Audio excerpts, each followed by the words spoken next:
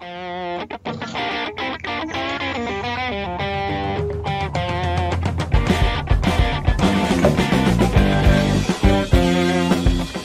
afternoon, everybody. Welcome to Trader Merlin Show for your Monday, the 18th of July. An exciting session to behold. We had uh, nice choppy markets today. Later on, I will actually walk you through some of the silver adjustments that I made. As you guys know, on a Friday show, I was telling you how uh, I was going to be put silver come Monday morning. So I received my silver and, of course, sold some options against that. Made about 3.5% rate of return for the next 30 days. So uh, not too bad. Getting paid to hold silver. And if it goes up too much, hey, just take that silver away from me. So, greetings, everyone. Happy Monday. Uh, we're going to have a fun session. As I mentioned, a couple weeks ago, I was like, we're going to get Bill Addiss on after the Fed announcement on the 27th, just to, because it's always so timely to have him on.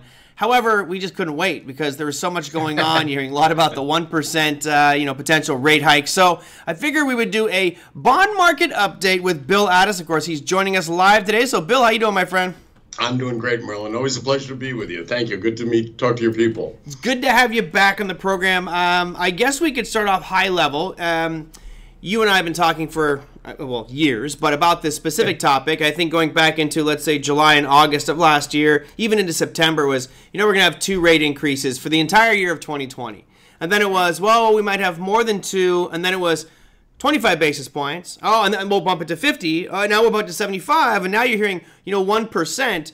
I, I think that if anybody from the outside who looks at this, it, it's clearly the Fed saying, uh oh, we're, we're kind of behind the curve here. We need to be extra aggressive.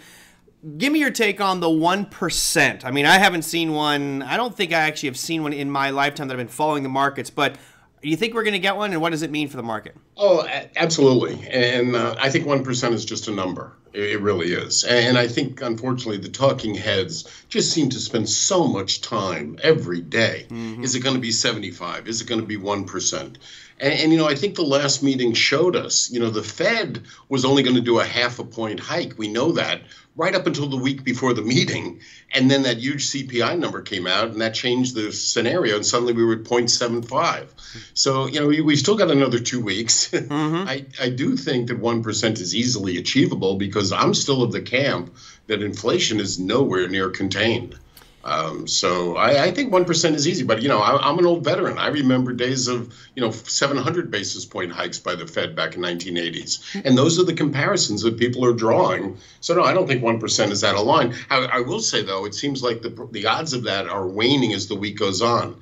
You know, last week if you looked at the futures markets, it looked like about a 90% probability of one percent, and that's now down below 80. So yeah. the market's getting whipsawed. It's um, you know it's funny. The number. Yeah, it's funny, Bill. You said that it was it was literally like at ninety percent for like 15 minutes when as right. all the bond shares. So I actually have it up here right now for anybody who's looking at home. This is the Fed funds futures uh, targeting the probability of different rate hikes for the 27th of July. You know, last week there was a big shift up above uh, 1%, but it's currently kind of where I expect it to be. I personally think it's going to be 75 basis points. I think it's kind of admitting uh, that they're too far behind here, and, and we'll discuss commodities in a minute. But 69% chance right now of a 75 basis point increase on the 27th, a 30.9% chance of a full one point raise at that meeting, and that's actually up over yesterday's number. So it's slowly inching its way back up there in probability. But but this is the game the press likes to play, and I, I personally I don't I'm not sure I, I, like playing this game because we still have all this data, and as the Fed keeps telling us, give us a chance to see how this plays right. out. Right. So you know when we start, you know, at one meeting, as soon as one meeting's over, we start doing the odds of the next meeting. Um, let's let's follow the Fed. Let's give this a chance to work because, as we know, we are in that magical, unprecedented territory here That's economically. True. That's true. Well, I would I would just add a little asterisk there, saying screw the press. I, I who could care less about what the press says. They're they're always pontificating and they have no skin in the game. But uh, the Fed funds futures is actually real traders with real money right. on the line. So exactly. I have a little more uh, credibility with those guys and, and their perspective targets when they actually have money on the line. Um, absolutely, um, but as as you show, day to day, those percentages and odds are changing dramatically. Absolutely, and you know, and a lot of that is media driven and fear driven and speculation, absolutely. and uh, you know, we'll we'll get a more definitive readout when it gets there. So you you think one percent is that? Solid? I, I think it's conceivable. Yeah. Again, I don't want to. I don't want to play the odds because we still got three weeks of data before the number, and I think the Fed could be swayed at the last minute. I'm worried about inflation, so I, I'm going to err to the upside. So yeah, I'll go to one percent. All right, all right. Okay, well we'll uh, we'll have to have another beer on that one next time I see Sounds you. I'll take 75 basis points. Uh, you're buying me a beer if that happens. If it's one or higher, I'll even give you one and a quarter and oh, above. Jeez, yeah. that's how generous so I am. Upside, right? um, Eric has a good question. He says Reagan's Volcker raised rates uh, one to four points in the early 1980s, and it killed inflation after a small recession? Question mark. Yes. Did? That's true. And yeah. it did. And unfortunately, as history shows us, and I'm going to be pessimistic here, every time we've had this problem of stagflation, yeah. the answer has unfortunately been going into a recession. Mm-hmm. And the question really at this point, I think, is just how quickly is the recession going to come and how deeply is it going to come? Mm-hmm. But, you know, as we're going to talk about next, the yield curve's inverted as of this week. Bond market's predicting a recession. So, uh, yeah, I, I, think the unfortunate reality is we talk about the idea of a smooth landing, that the Fed can somehow magically thread that needle between cutting out inflation but not hurting the economy. Sounds great. Yeah. But the reality is it's never worked. We've always gone into a recession. Let me ask you. I mean, you, you you seem to think that we're headed towards a recession. I'm of the school of thought that says we are in a recession at this moment. Right. And it seems to be a very contentious uh, topic. You know, you hear some people on TV going, "Absolutely not," and you hear you know Powell and other FOMC members saying, "Well, the probability is increasing." It's like, well, aren't we there? I mean, two consecutive quarters of negative GDP growth. You've got inflation is surging. Uh, what am I missing? No, and, and this is my personal frustration when I hear talking heads say, you know, well, there's a possibility we might be in a recession or approaching or going into one next year. And as you and I have talked about, you know, the definition of recession is two consecutive quarters of negative GDP. Well, GDP was negative last quarter. Yeah. so we're halfway there. And GDP doesn't look like it's any better for this quarter. So, you know, the reality is we're probably in a recession. Now, believe it or not, there actually is an academic organization, I went to have the name for us, that actually does the official ruling. It's almost like the NFL playbook as to what is a recession. There's actually an organization that kind of decries we're in one. Um, and people are starting to talk, well, maybe we should add employment as a filter of recession. So uh, it's getting a little bit more nebulous. But you are right. Economics 101, two consecutive quarters, you're in a recession. We're probably there now. Yeah, I think so. By the way, it's the National Bureau of Economic Research is the one Thank that you. there has to be some government agency out there that's getting paid, you know, a whole team of six figure individuals to officially put us in a recession. I picture them with this big rubber stamp, right? you know, stamping you know, recession. Here we are. We're officially there. Okay. We're officially in a recession. That's right. Um, but, you know, but the reality is, you know, the yield curve is inverted. So the bond market is telling us we're in a, we're going into a recession, and that only officially happened this week. So let me uh, take a step back just for clarity's sake. Um, you know, the industry, again, there's lots of definitions the industry likes to label things. And right. most media outlets will say, oh, an inverted yield curve is the 10 year and the 2 year. And you corrected me last time. You said it's actually the 10 and the 1, right? Right. So that yeah, that, but and honestly, again, no no definitive rule here. But mm-hmm. the Fed talks about tens versus ones, so I like to do that. I won't dispute that. You know, many people look at the tens versus twos. Other look at the ten versus three month. Mm-hmm. You know, so that there are different benchmarks that you can use. I tend to look at the ten versus one only because that's the one that Powell talks about, or, okay. or the Fed talks about. So I'm gonna see. I actually uh, I had it up here, but walk us through. Uh, let me see if I, you had some charts here to bring up. I want to talk about that yield curve, and I'm going to see if I can bring up on my screen a, a, slight modification of that one. Sure. Let's go to. So there's your yield curve now. This is the most recent one you just sent me. Great.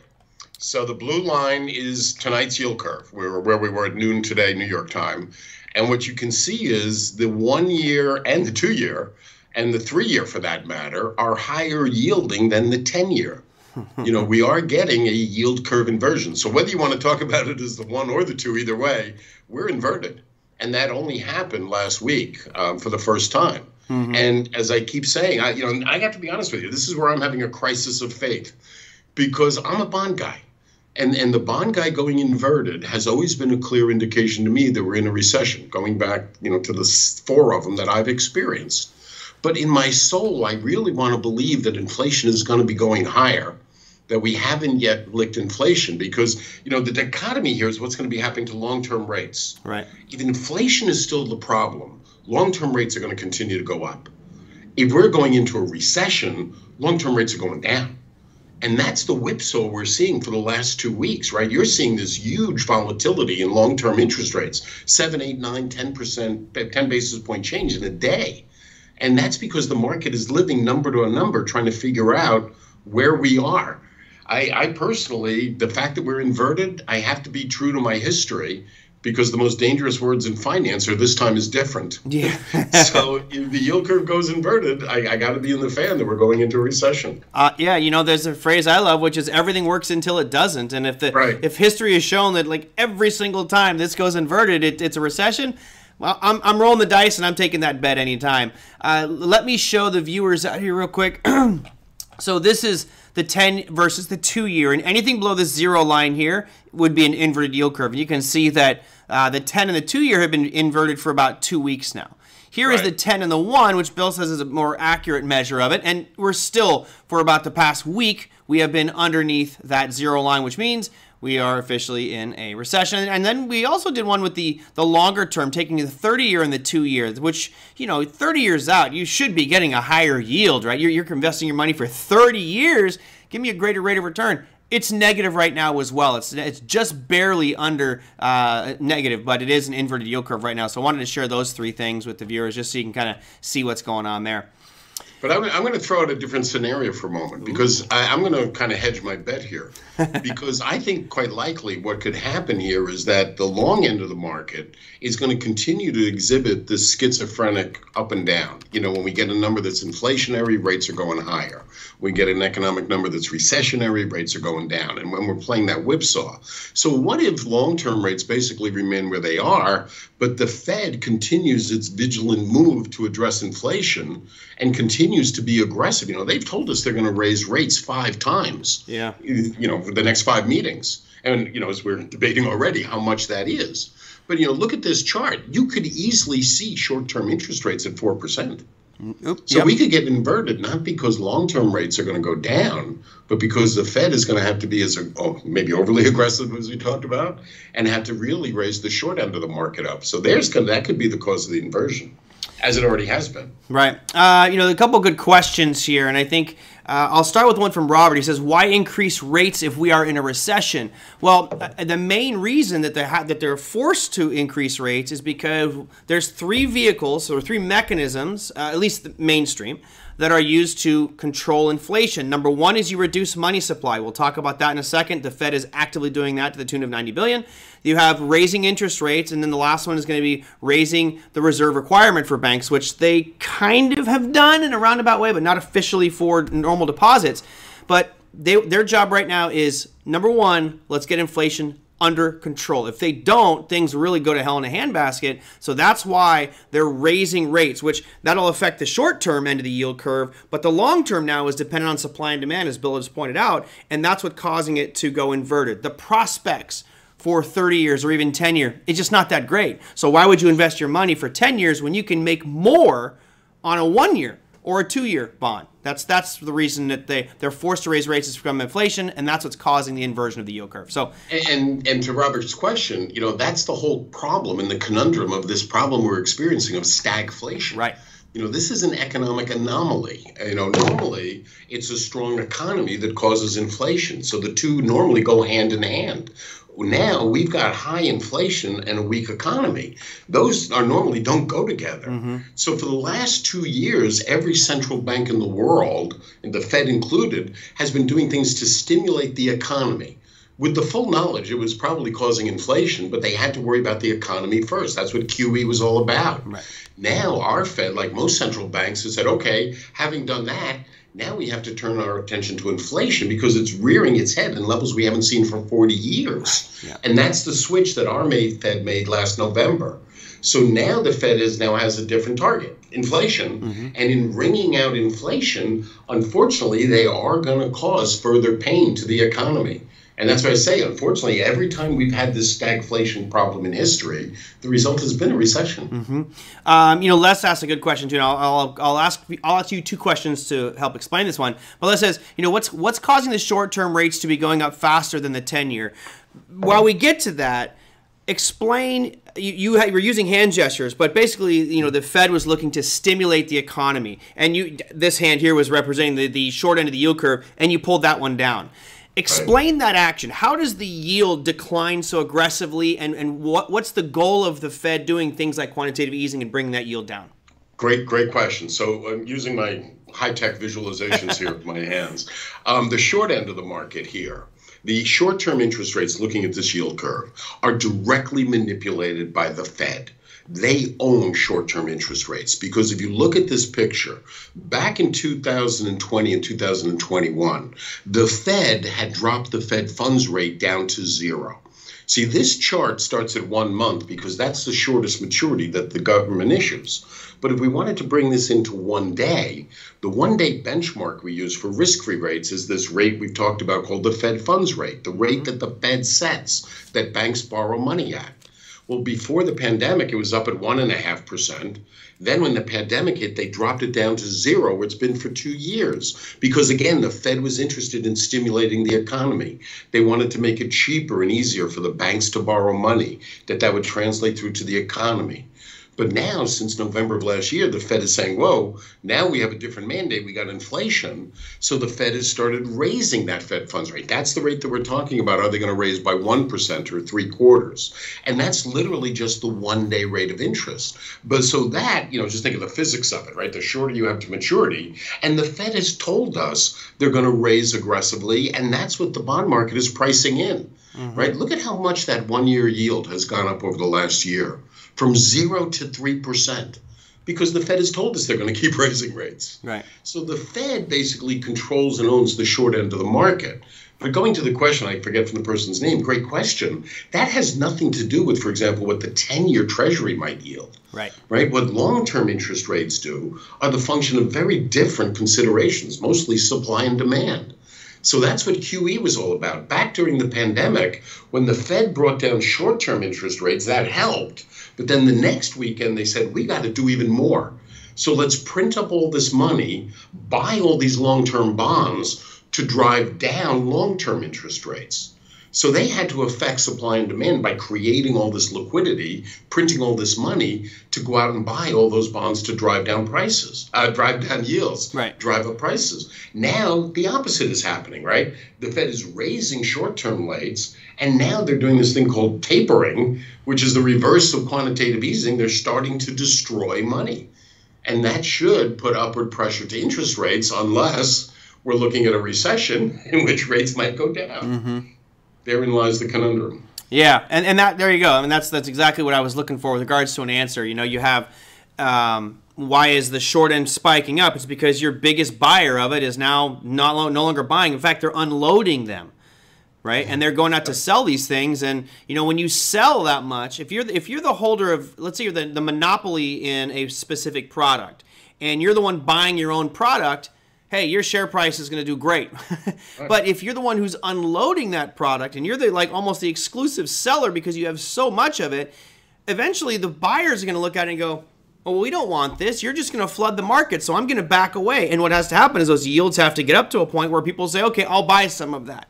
And, and, and Perfect. we're still in that discovery process now, and we'll maybe we'll talk about that in a little bit about uh, foreign buyers stepping in to buy some of the short term stuff. But Les, it was a great question, and that's kind of why we are where we're at. And we're not done. Um, let, us talk about the amount. If I remember correctly, the Fed was supposed to be, uh, boy, what was it? It was something like 30, I think 30, it was 30, 30 billion to start. 30 billion of short-term uh, treasuries and then well, no, no, it's corporate. not short-term now. Just to, to clarify more, on the short end, they set that Fed. Oh yeah, it was corporate. Rate. It was so, corporate. That's right. Yeah, that's the short end. We take care of that. When the Fed was in buying under QE, they were buying all long paper. Correct. Their portfolio is a long portfolio. So you're right though. Now that they're going to start destroying money, and they quickly went from 30 billion in June in uh, May to 90 billion by next month. That the Fed is literally going to start destroying 90 billion a month. Well, to do that, they're going to have to start selling some of their bonds because right. they don't have 90 billion in cash coming into that portfolio every month. Right, and, and again, so you're right. and I've talked about this on quite a bit. You know, people keep asking me, well, you know, why is the dollar going so strong, and why do you keep thinking it's going to go up? It's it's because the Fed is burning dollars. They're removing it from supply, which is one of the actions that the Fed can do to fight inflation. But you also have this kind of a conundrum now where foreign banks and central banks are going, hey, you know what? Japan, for example. I've got all this Japanese yen that is earning negative 0.1 because we're we're negative, but I can go buy some U.S. bonds now and start earning yield. So now you're actually creating increased demand for U.S. dollars. We have this very interesting dynamic right now where I think the demand for dollars is going to keep on increasing as people are trying to get some of that yield. Well, it'll be interesting to see. yeah. And honestly, I, I, have to take the other side of that trade Good. a little, Merlin. oh yeah. Wait, you're going to go against the dollar? No, no, no, no, no. What I'm saying is we don't. No, no, no, no. Never, never. And I agree with that. I'm sorry. I should clarify the first part of what you said. 100% agree. You know, is it any wonder that we're at a 40-year high to the yen? You know, we're out there literally destroying currency, and Japan yeah. is still doing quantitative easing, hitting the market with new paper every day. You know, FX traders. I hope they understand this dynamic. You know, European Central Bank has not reached the point of destroying money yet. We have, Canada has. No wonder North America currencies are doing so well. Right. But but the second part of, of uh, your observation is what what I wanted to make people aware of. We're actually seeing less buyers of treasuries. Really. Yeah. Well because there's an interesting thing going on here. You know, if you go back to the old traditional buyers of Japan and China, right? Where Japan and China were always considered, and they were at one point, in, in, you know, the biggest buyers of treasuries. Well, they were buyers of treasuries because of their trade deficit with the U.S. You know, they had a lot of dollars, so they were simply looking for safe, liquid, long-term investments. But now, thanks to tariffs, right, we don't have the trade issues with China. They don't have as many dollars. Mm-hmm. And in fact, the Chinese holdings of treasuries this week just dropped below a trillion dollars for the first time in a decade. Wow. You know, you, you put China and Japan together, they now own less than $2 trillion worth of treasuries. And they're buying less and less as time goes on because they literally don't have as many dollars. And in the case of China, this is directly related to the tariffs that, mm-hmm. that are still in place. Mm-hmm. Correct me if I'm wrong. If I, I believe I heard or read somewhere that the Fed at one point had $8 billion worth. Yes. Eight trillion. Sorry, eight trillion. Yep, eight trillion. So they had four times the amount of China and Japan to put together. Unbelievable. That's how big a buyer they are. Yep. Yeah. Uh, that's so that's crazy. the frightening part, as you just said. When your biggest buyer, and that's how big they were, now becomes your biggest seller. Mm-hmm. That's going to be interesting. You know, how did you? How do you? And this is obviously absolutely a hypothesis or just a speculation your point, but but how does that pan out? Because we have been as a country somewhat dependent on having people buy our debt. And right. if all of a sudden China and Japan, who are, you know, the top dogs on that pyramid as far as buying our debt, are going, we no longer want it. You know, what, what is that? How does that shift us as a powerhouse? I, I have no idea. I'm, I'm, Oh no, it's it's it's catastrophic, quite frankly. I mean, not not to get too conspiracy oriented, but I'll give you my nightmare scenario. It's that OPEC goes to a euro-based system, goes away from the dollar mm. right? One, one of the reasons that so many global investors are willing to buy dollars is because the U.S. dollar is a reserve currency. Right. Right. Countries have to keep dollars, you know, and the countries that sell oil, you know, pre-pandemic, I used to spend a lot of time in the Middle East, and Kuwait and Saudi were the number three and four buyers of dollar of bonds because they sell so much oil in dollars. Right. But but OPEC, let's be honest, OPEC was created over 50 years ago, and it was a dollar-based system because the U.S. was the largest importer of energy. Right? We were OPEC's largest client. It made sense to have a dollar-based system. So now, as all these countries are selling oil in dollars, they're turning around and buying our bonds. That's a win-win scenario. But what happens even when Euro, uh, OPEC decides to start trading oil in euros? You know, we're, we're an energy importer, exporter now. Hmm we wouldn't have a if OPEC was created today, it would not be a dollar-based system. Yeah. And what happens if and when OPEC decides, let's go where our clients really are, let's go where our biggest consumers are, and that's Europe. Let's have a euro-based system. That would be catastrophic to us because then we've got all this debt. Who's going to buy it? Yeah. Are they? Uh, are we headed there? Yeah. OPEC yeah. has acknowledged they're having conversations about multiple currencies. They won't they won't peg on the euro in their conversations, but yeah, it's uh, OPEC is looking at trading oil in other currencies. That would be catastrophic for us. Yeah. Well, I mean, as far as an economy, or just as far as the purchasing power of the U.S. dollar? Because you know, I guess the, I guess well, the reason I ask that yeah, is question. No, the ability of us to to to finance our debt. Yeah. Because it ultimately is not a question: Can the U.S. borrow money? It's ultimately would be a question of what interest rate would we have to pay to borrow that money. Mm-hmm. You know, the, the bad news is right now is the U.S. government's borrowing more money than we ever have. But at least the good news is, as this chart is showing us, you know, we're doing it at less than 3% yields. that's one heck of an opportunity from the government's point of view. For now. For now. Well, that's, that's the key. Yeah. You know, go back to 1979. What was the 30-year bond coupon? 14 percent. Wow. 14 percent was what the government had to pay in 1979 to attract investors. Well, and and you know, I guess that's the kind of the question I'm going to is, you know, where where do we end up here? You know, what what is the I guess what does it ultimately pan out from an investment opportunity? Because for me, I'm just thinking as I read through all this stuff, and it's not about being doom and gloom or you know overly optimistic on anything. It's saying, okay, how can I allocate some capital and make right. more money with it as effectively as possible? And if we do lose re- reserve currency status, which uh, would probably be World War III, uh, yeah. in my opinion, is where that would right. have to come from. Um, right. You know, do I start looking at international markets? Do I start to start buying the euro? I, it's a, it's less than parity. It is no exactly. Oh, well, if I could put a, if I could put two bright spots to this, because I'm, I'm starting to depress myself. So, so if I could put two bright spots to this, is you know, let's be honest. For the last couple of years, people who saved money were getting penalized. Right, cash paid you nothing. Yeah. And at least the good news is, and maybe it's the silver lining, is that in an inverted yield curve, the short end of the market becomes the most attractive yielding. Mm-hmm. So, on a relative basis, people are incentivized to keep their money in cash. And relative to you know what, what the what would you know the catastrophic scenarios we're talking about, that might not be a bad thing.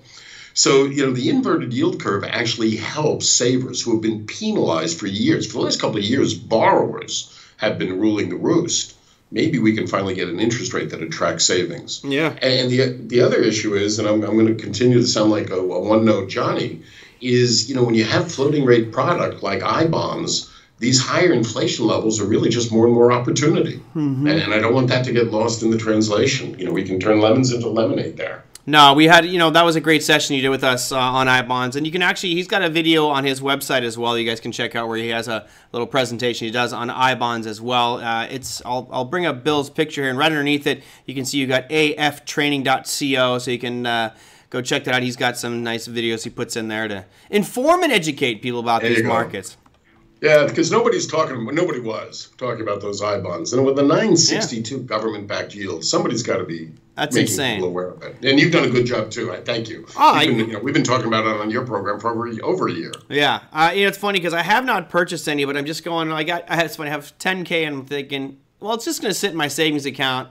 I'll go buy. So I'll buy my 10 grand worth for the year. It, well, it, I do want to I do want to remind you. The only downside I see to these is you got a one year lockout period there, so you got to be sure you don't need that money for the next year. Well, I'm pretty sure that even okay. if even if in October they reset it down to whatever seven or six or five or four, that's certainly right. better than what I'm earning in my savings account at 0.01. So. And the, the crazy part is, you know, we've only had three months of data, but consider, you know, the way inflation's been going at these record levels, the, the level next reset is going to be even higher, even if the numbers remain the same. Yeah. For the next three months. I'm uh I got it. I'll I'll be the the devil's advocate here. I'm actually thinking inflation is going to be dropping significantly in uh, October November, and that's because if I looked at these prices of commodities, you know, mm-hmm. corn, wheat, soybean, lumber, cotton, you you name it, between 30 and 50 percent declines in the last two months, which in my opinion has not factored into CPI or PPI data. So I think near the tail end of the year, you're going to get a sharp drop. I mean, it's how do you not have a drop that much with you know cotton down 50 percent? Uh, it, it's going to have an impact, or it should. Right, and energy prices have certainly waned as also. So I'm not just denying there's good news out there. Absolutely. I mean, look, my, personally, I'm like, let's keep inflation high. Let's make this market struggle so my shorts do really well. yes, I'm, I'm more naturally short myself these days, reflecting my pessimism. yes, well, you know, it's it's or funny realism because some people will say that it's anti-patriotic, and I'm like, no, we're in a situation that was, uh, you know, manipulated beyond belief, and here we are. You know, the piper's coming home. Absolutely. This market, you know, the, the and I'm I, as you know, I train at the Fed. I work with the Fed. The bond market is a manipulated market right now because of this quantitative easing. The Fed manipulated long-term rates down. It worked now they got to unwind that, and that's unfortunately where the pain could come in. Is right. reversing what they did, which was so well received by the market. Uh, let's see. Unbel- or believable direction. He says, where do you go to buy bonds direct from the Treasury or a broker? Depends on what you want to buy, but uh, Bill is always hammering the table about treasurydirect.gov. Um, that's where you can actually go out there and find the I bonds. I bonds have been, you know, a real popular discussion here. If you go to individuals, I have the website up right now. You notice over here, I can go down to I savings bond, and it'll even tell you the rate right there. You can get 9.62 percent. Again, you have a one-year lockup period, and you can only do 10,000 a year, and it resets in May and October. So um, there you go. Yep. And by the way, just that was a great question because a lot of people don't understand bonds. Mm-hmm. Um, the opportunity to buy treasuries from treasurydirect.gov, good commercial there, is you're buying new issue treasuries directly from the government through that website. And as a retail investor, you get the same price and yield as the institutional market. And you can also buy them in $100 denominations. Now you can also probably buy them directly from your broker. You might have thought just never thought to ask. You know, terms like Schwab, TD, Ameritrade, they all keep bond inventories that they show to their clients. So, uh, you know, if you are looking to buy an individual bond buyer, I, would recommend starting with the broker you might have a relationship with. You might be surprised to see that they do it. Yep. Uh, let's see. And uh, Tom, thanks very much. Robert, yeah, for questions that come directly that to us, just put a couple question marks before. Sometimes the chat gets real fast and I, I miss things. Uh, Robert says, does that mean that you know TLT and EIF will keep going down since the Fed is the biggest seller? So these are uh, obviously ETFs, and again, I think the easy answer there is if you expect yields to to um, to be falling, then though those ETFs should actually be going up in value. If if you expect yields to be rising, then those ETFs would be falling in value. They're going to be the inverse of the yield. So I don't know if you still have the yield curve up, Merlin, but if you look at that yield curve that we looked at, look comparing this year to last year, the TLT and the IEF are trading the 20 year and the seven year treasuries respectively. These are uh, ETFs from BlackRock. And you can see the yields at both 20 years and at the 7 to 10 year area have gone up over the last year right? The dark mm-hmm. gray to the light blue. So prices went down accordingly. So the TLT, the long term one, is down 25% year to date. I mean, that's a lot of volatility. Yeah. IEF, the shorter maturity, is down around 14%.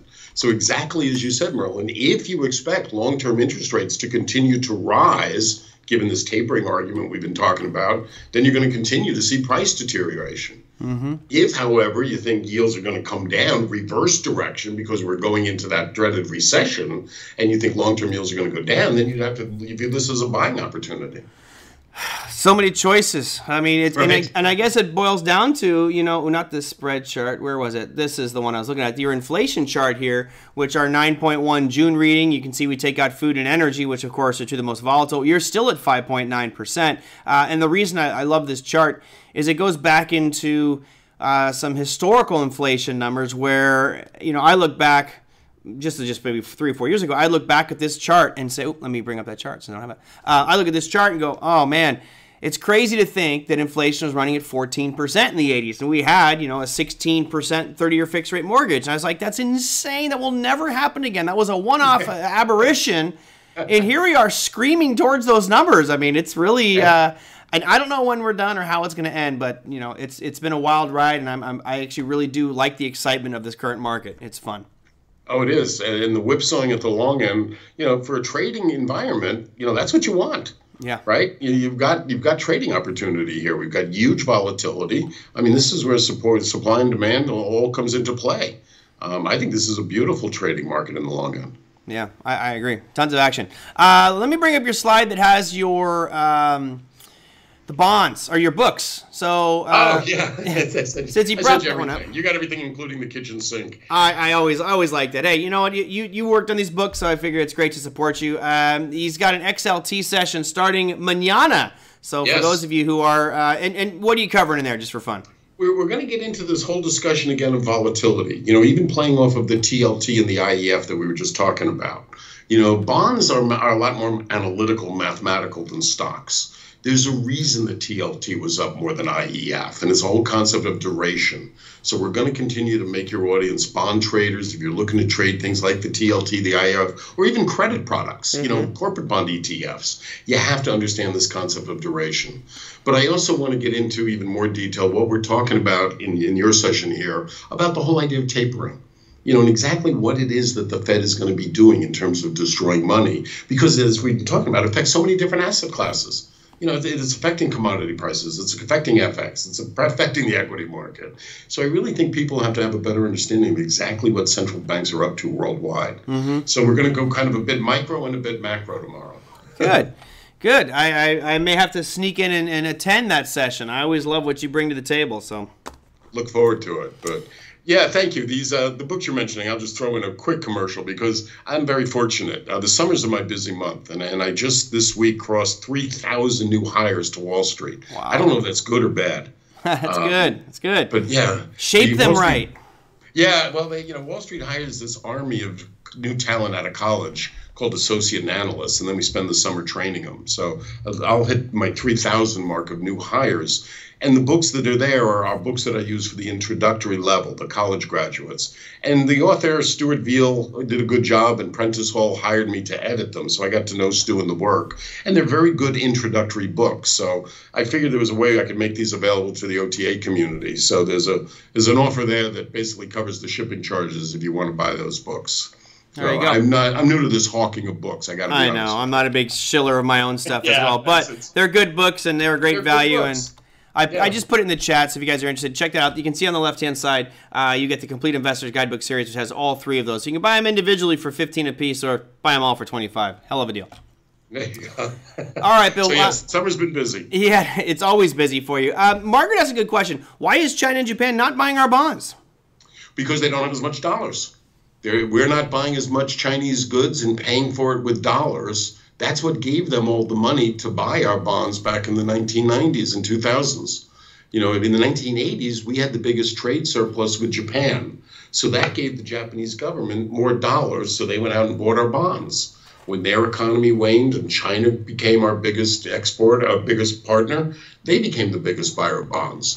Unfortunately, because of tariffs and global economics, they're not we're not buying as much Chinese goods. China and Japan aren't having as much dollars, so they're just not buying our bonds. See, their buying of our bonds was never a political statement. Their buying of our bonds was simply they had a lot of dollars, just mm like Kuwait and Dubai, uh, Kuwait and Saudi do now with oil prices being where they are. You know, Kuwait and Saudi are big buyers simply because they have dollars. They're not making a political statement in any way. So, you know, at some point, if we switch it over and let's say hypothetically, you know, Saudi Arabia and an OPEC say let's let's let's do it to the yuan, right? Right. We're stretching out there. Then all of a sudden we're in deep doo doo because they won't be buying bonds at all. Because what are they going to be? Where, what are we going to be giving Saudi Arabia and them dollars for? We would right. actually be holding. We would have to buy Chinese debt to hold right. uh, to park our yuan, right?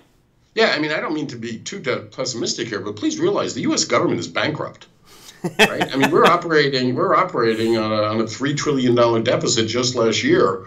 You know, we've got twenty four trillion dollars worth of debt out there, and when that debt comes due, we got to keep rolling it over.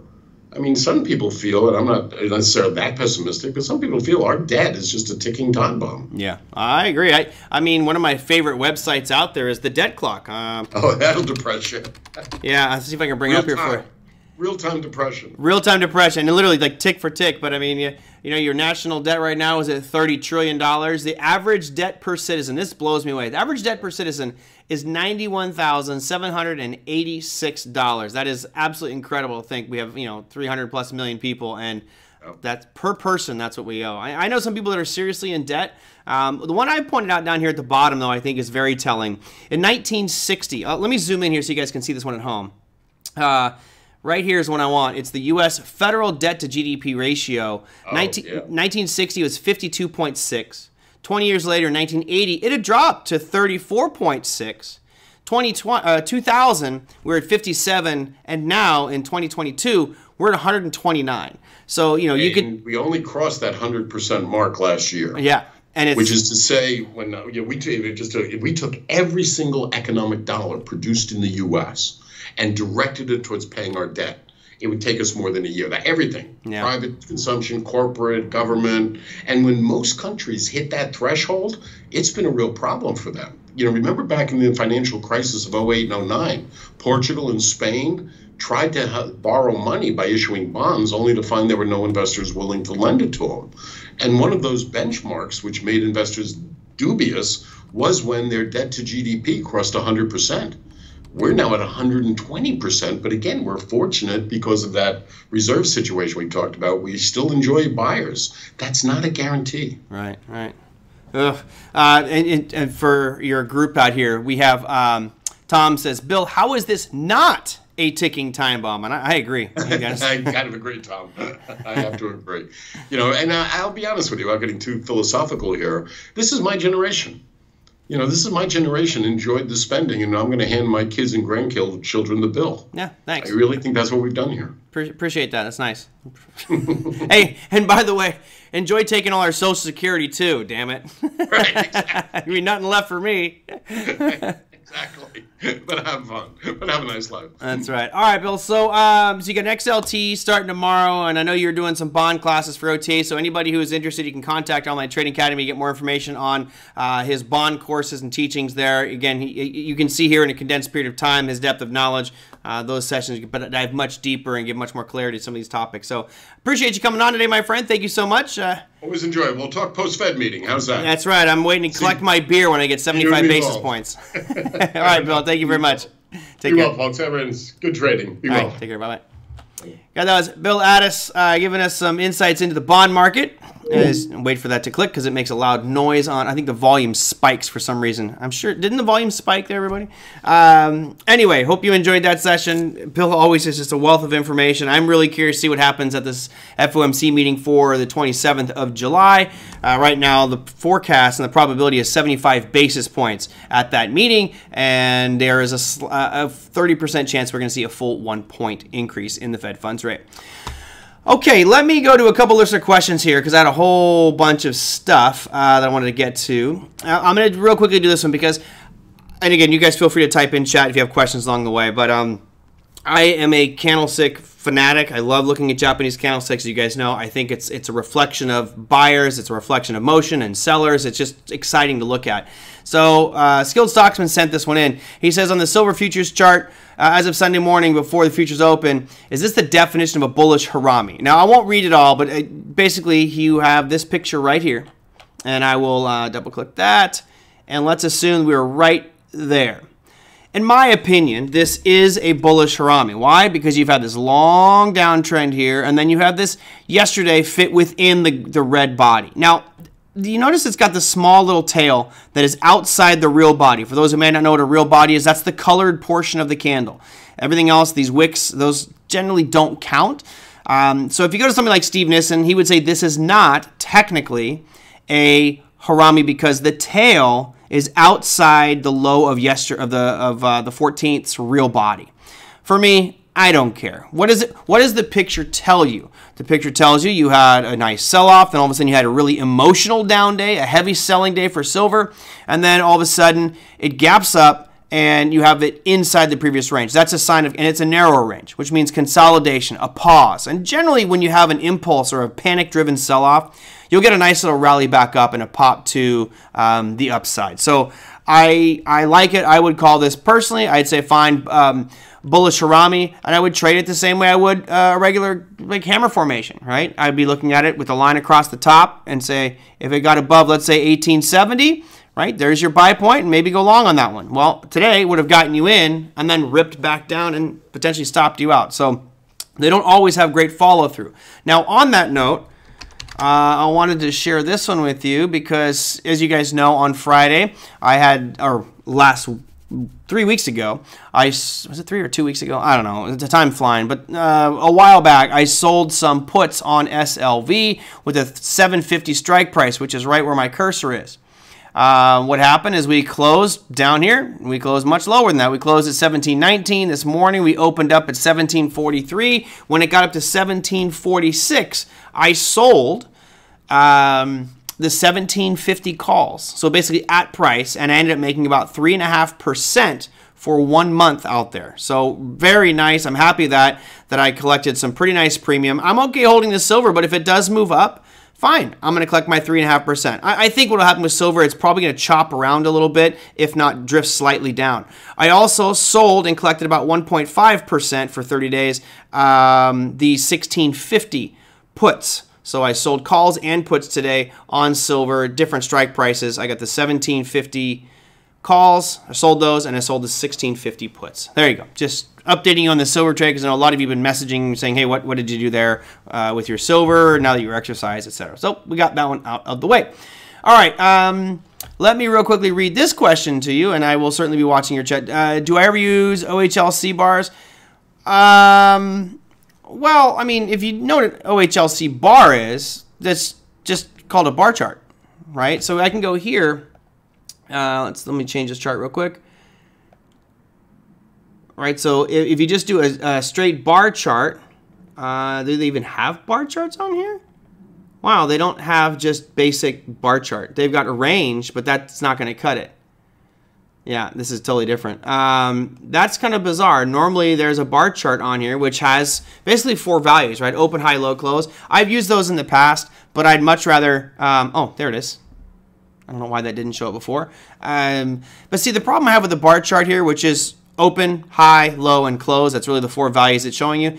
It's hard to tell by a quick glance if it was up or down on the day especially the trends. So that's why I prefer candlesticks because it, it fills everything in. And if it closed lower than it opened, it's going to be a red. If it closed higher than it opened, it's going to be green. Makes it real simple.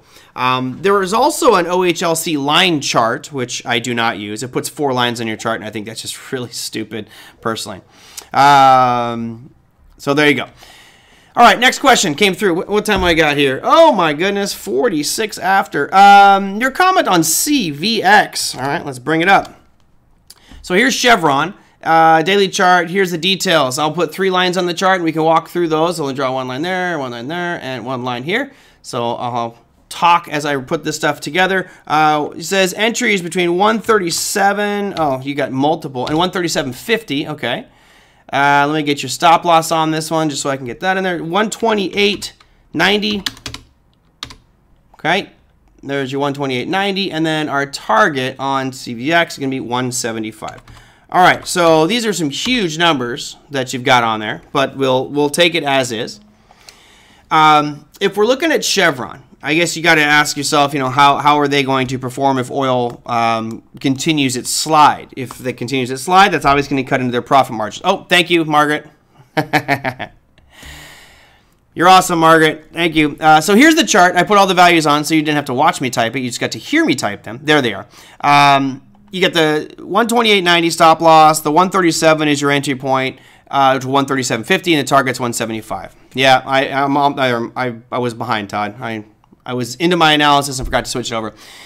So first off, I got to ask, you know, looking at this price chart, I get what you're thinking. You're thinking it's going to have a nice bounce up. You know, crude oil is going to start to move back up. However, be careful. The, it feels like the pressure right now is aggressively to the downside. So you're catching a falling knife if you're thinking about buying Chevron or even any of these other oil companies. Um, since you told me your demand zone, or at least your buy point, is uh, let me bring this up here. Draw a highlighter was 137 to 137.50. You know, you've got this small, little, tiny, tiny zone. I'm, I'm curious as to why that little area. I don't see anything here technically that would say this is where I want to buy. Right?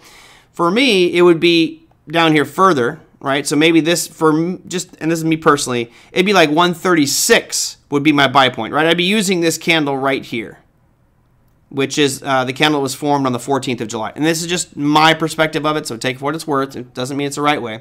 And you notice that that candle fits entirely within this demand zone area, this kind of sideways consolidation that happened back in February of 2022. So you know, got to ask yourself, well, where, where would the logical stop loss be? Maybe down here like 130 so I'm already taking considerably less risk than you would be on that trade, Leonid. And, and the main reason is I'm dropping my entry even lower. So I'm saving a buck fifty on my entry, and I'm also raising my stop loss up by about a dollar twenty. So I, have I've removed a lot of that risk. Uh, you had almost nine dollars worth of risk. In this case, I'm looking at six dollars per um, per share of risk. Now you've got a 175 target on there certainly I would. Uh, you guys all see the graphs right now. You guys see now. Uh, certainly, in this situation, you know you don't want to be thinking it's going to go straight to 175. for me personally, you, you cannot argue that there's an area right around 152. There's also a spot right around 145. So those other lines I put on here are now areas where you would have to evaluate um, that position and maybe take some off, maybe add to it if it breaks through it. But you know, when you when you make a trade like this and you just say outright, oh well, okay, I'll buy it at 136 and it's gonna go to 175. That's hopium, right? That to me is really kind of you're gambling and, and just being extremely optimistic. As you've seen on almost every one of these charts, unless it's this rally that happened on Chevron back in February of 2022, it doesn't usually go from 130 to 170 without a pause, right? That was a rare event you saw back there. Could it happen? Sure. But just know normally it's not going to be a straight shot like that. At this point, you're still looking at a weak trend. We could add on moving averages here. I wouldn't use 100, but I would use something like, let's say, a 20 since you got shorter time periods. So let me modify this um, into a 20 period moving average and you'll be able to see it's definitely trending down but although it might hook up right at the end right? So it's just starting to curl. So right now everything is saying short the rallies not buy which might make good reason to be a buyer here so Leonid, um, I, I would revise the entry here just a little bit, just because I'm going to be utilizing this candle. I'm not exactly sure what the, the, the range criteria was for you when you picked it, but I've shrunk the, the volatility here a little bit, uh, and I would give myself multiple targets. Now the other piece here is, what is the average to range of this, right? I want to make sure that my, my stop losses are acceptable. Notice up here on this candle right here, if I entered long at 136 and had a stop loss, let's say at 130, that's six bucks worth of risk. Well, right now, the ATR on this is roughly $5. So I'm now giving myself slightly more room than the daily ATR, which would be probably a smart thing here. Um, I guess the challenge is for you and anybody else taking trades like this is, is this too much risk? You know, if you're thinking $6 per share is just too much, then trade fewer shares, right? If you have a $200 stop loss, okay, well, now you take 200, divide it by 6 bucks and that gives you uh, you know how many shares you can trade. So we'll go I'll bring this over here just for fun. There's let's say you have a $200 stop loss and you divide that by uh, 6. Okay, so 33 shares. You can only buy 33.3333 shares. Okay, fine then stay there. If that's too much money for you to buy 33 shares, then cut it back to what you're comfortable with. But uh, the important part is not choking up your stop loss too tight so you can trade more. Right? If I had a stop loss that was three points, I know I'm probably going to get stopped out just based off the daily ATR. There you go. So, Leonid, I hope that that helps out. Um, that is definitely more than a four to one. Well, actually, it was four to one on your values. For me, that it'd be considerably more than that based off the revised entry area. So there you go. Hopefully that helped out a little bit. Um, Eric, you had a really long, complicated question. I have no guests on the show tomorrow, so let me let me do that. I'll go over your question on tomorrow. As you was basically talking about calculating your, your ATRs, and it, it was a pretty long question. So I'll try to break that one up, uh, give us a little bit uh, more time to analyze it since I'm near the end of the show, and that'll probably take me past an hour. So let me look at uh, the calendars for tomorrow. Here is what we've got cooking. Economic calendar for the 19th. It starts to get good again.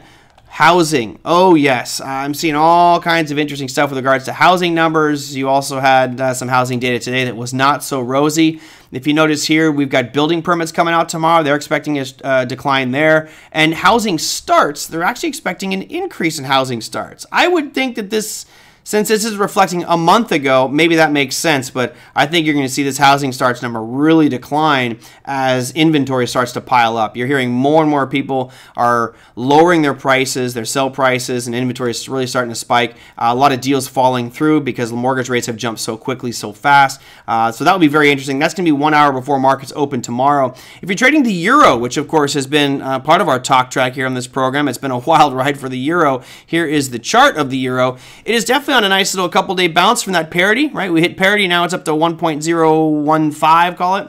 Um, looking good so far for a bounce, but we may see some movement there tomorrow because, as I pointed out, they have their CPI numbers coming out tomorrow, and they're not really doing anything to fight inflation. They're not raising their rates at all. So it'd be interesting to see what happens uh, with the CPI number for the euro. That could create a lot of waves out there. And then if you're trading the British pound, I'll bring up the British pound chart for you. It also has had a little bit of hook. Why? Well, because we've talked about the dollar weakness, right? A pullback due for the dollar. And all of a sudden, you have these other currencies starting to spike. Now, I don't know how far this dollar here is going to drop. This is the Dixie. Um, you guys see, I had this line drawn right around 107. I said we could potentially get back there. Notice, where did we hit today? All right. I love this stuff because it's not like I made it up and drew 107 on today. You guys can go back and check um, our Thursday and Friday show. This was the logical pullback point because that's the origin of this big demand zone that pushed up. And we hit it today and bounced right off. Now, the question is will it hold or will we see this market drift back down and ultimately hit this 105 level? Just for posterity, I will put the 105 line on here because that will be the next logical stopping point right around 105.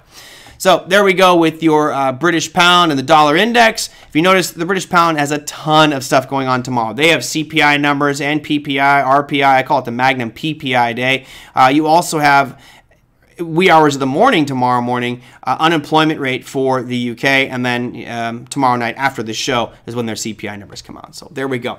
All right, that will do it for today's show. Um, yeah, you know, I try not to do much with core strategy on here. If, you want to learn core strategy, go to Online Trading Academy, learn it there. This will not be the school for that, uh, but hopefully uh, learn something along the way and improve your trading as well. So if you guys have comments, questions, feedback, you know what to do. You can put them down below the YouTube video. I will get to them on tomorrow's show as I have no guests for tomorrow. Uh, I have no guests for the remainder of the week yet. I'm, I'm, working on it, but I'm busy with so many other things, you guys. I just kind of get sidetracked sometimes. So uh, that will be a uh, a mainly Q&A day. I've got a couple big questions I need to get answered for you guys. If you want something answered or talked about, you can put them down below the YouTube video. Just say, hey, talk about this on your show or email me at tradermerlin at gmail.com. That said, have a fantastic remainder of your evening. I'll see you all tomorrow. Take care. Oh, wait, no, no, no, no. Hold up. Wait a minute. Don't be leaving. We've got a popcorn trade of the day to deal with. What am I thinking? Holy cow, I almost screwed that one up. Uh, the popcorn trade of the day for tomorrow, Netflix, guys. Netflix is going to be coming out after market close, and there's a ton of big ones. You've got Lockheed Martin, Halliburton, Novartis, uh, Citizens Financial Group, Ally Financial, Hasbro, JB Hunt Transport, and Interactive Brokers. So major stuff. A lot of it happening before market. The big one that, that is most exciting for me, Netflix. NFLX is your popcorn trade of the day. And that, my friends, is a wrap. I will see you all tomorrow. Serving some popcorn live on the show. Take care. See you tomorrow.